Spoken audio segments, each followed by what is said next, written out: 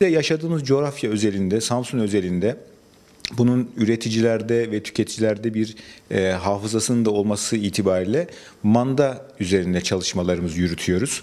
E, Türkiye'deki manda sayısı e, 170 bin olarak nitelendirdik ve bunun yaklaşık %15'i Samsun ilinde yaşıyor.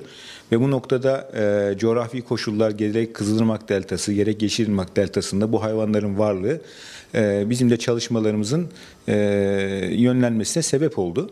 Üniversitemizin e, geçen yıl başlattığı e, çağrılı projeler kapsamında biz e, manda pastırması ile ilgili bir çalışma yürüttük.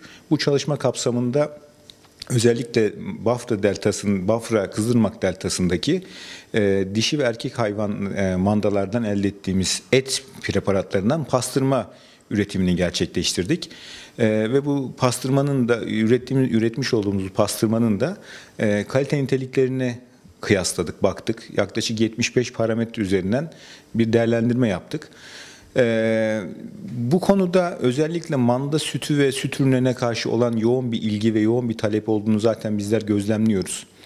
Ancak manda etiyle ilgili e, bu süt ve süt ürünlerine olan yoğun talep, e, istek ve iştah düzeyi maalesef ette çok da mümkün değil.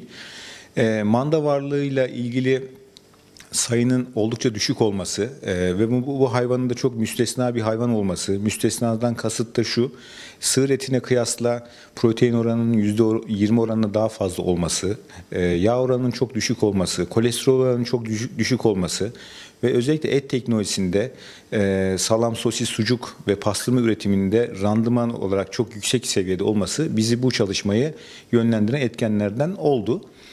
Ee, ve bu noktada e, üniversitemizin desteğiyle yapmış olduğumuz proje, proje kapsamının çıktısı olarak da biz Veteriner Fakültesi adına e, Sammanda Toska Pastırması isimli ürünümüzü e, Türk Patent'te e, isim ve logosunu tescil ettirdik.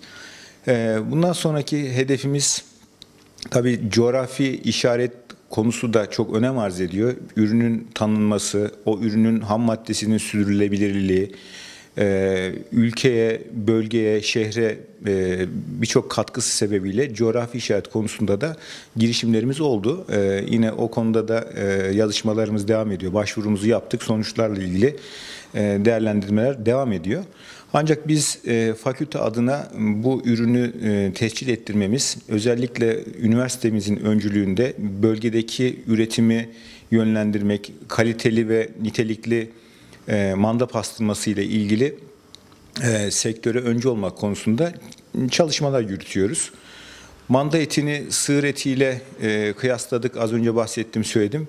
E, bu noktada daha e, hayvan e, ırkı olarak burada çok fazla bulunması, hayvanların e, dış etkenlere karşı oldukça korunaklı ve dayanıklı olması, bir takım hastalıklara sığır türlerine göre daha dayanıklı olması e, hayvanı daha ön plana çıkarıyor hem hayvan sayısını artırmak hem bu hayvandan elde edilen süt ve süt ürünleri keza et ve et ürünlerini e, topluma sevdirme noktasında bu projenin bu isim hakkının bu patent e, bu almış olduğumuz e, ticari ürünün bir katkısı olacağını düşünüyoruz. E, mikrobiyal yük bakımından lezzet ve aromaya etkili eden etki eden laktik asit bakterilerini biz Kızılırmak deltasındaki hayvanlarda daha yoğun elde ettik.